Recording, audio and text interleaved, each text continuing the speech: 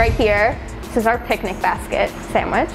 Um, it is the best seller on the menu since day one.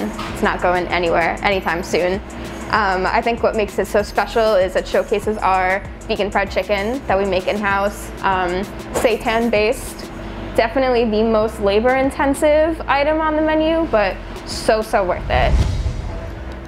Oh my gosh, I don't even know. Ugh.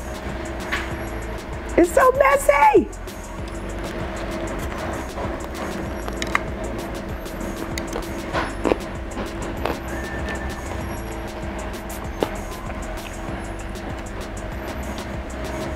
It's worth it.